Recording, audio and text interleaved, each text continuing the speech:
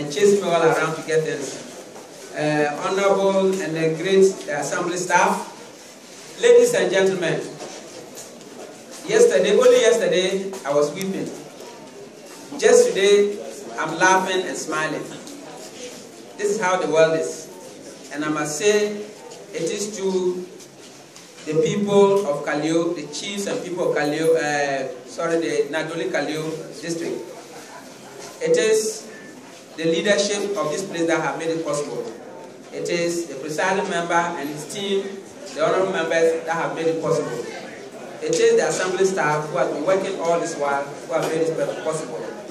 And I'm glad that everybody has come along with me to make this possible. Yesterday, we didn't actually eat at the at that place, but I didn't know how I was going to eat. Whether I was going to be, I had to take sugar first to make my mouth sweet get some fruit, some sweetening fruit. So I had to refuse the fruit, uh, the food. I'm happy today that I'll be able to enjoy the meal with this, uh, the presiding member. In fact, when I finished, I didn't see the presiding member. I had to, I didn't want the newly endorsed DC that we chose democracy. We decided that divergent views were all right. And so if there are people who decided that they have one reason or the other to vote against, we have no good reason, whichever on this earth in Ghana, to look for them and label them.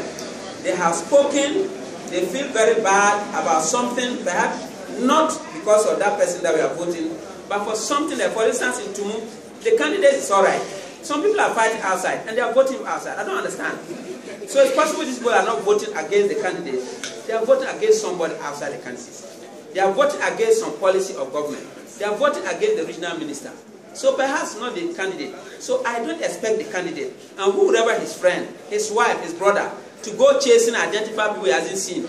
Perhaps the person you have said he didn't vote for you, he person voted. Today, you know actually what happened to me? I didn't know why the, the, the, the staff, the electoral staff, decided to put a nose in front of me. All they know they're counting, and my heart was jerking, they are not seeing. Because you know what happened yesterday? I had assumed that I had made four, and so when they're counting, I was talking to somebody, I was not worried.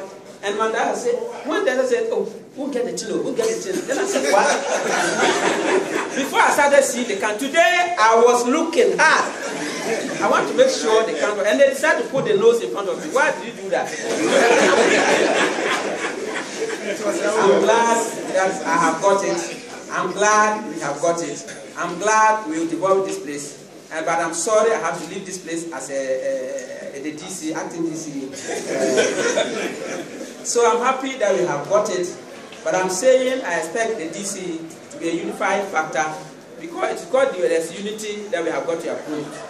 It doesn't matter where we have dissensions. I expect you to reciprocate by remembering that assembly members were the people that are, were the most important people today and that you don't consign them to some corner as soon as you get the office. That you remember them and listen to them and take care of their welfare, not just personally, but also for their communities. I expect you will do that. This is a sign of unity for all of us, and it's a sign of commit commitment or leadership of Kaleo, uh, Nadowli Kaleo district, and I'm hoping that all of you are going to work with them. It's a trust in His Excellency the President that we have all decided to elect, and there's a trust in the, the regional minister and his team, and there's a trust in the team that have come here, I'm sure will deliver. And as I said, the, I hope the Honorable DC will deliver. Once again, I want to congratulate everybody here. Not the, uh, the, the, the presiding member and his assemblymen and women alone. Everybody here, even those are the chief of this place, the chiefs in the communities, they made this possible. And I'm very grateful to